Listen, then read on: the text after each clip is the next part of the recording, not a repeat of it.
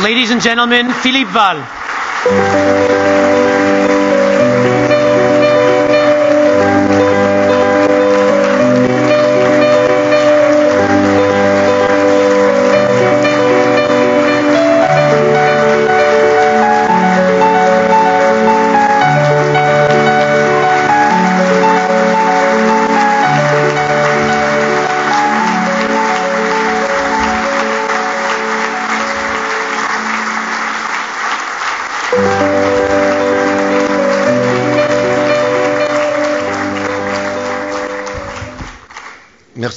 Suis très touché par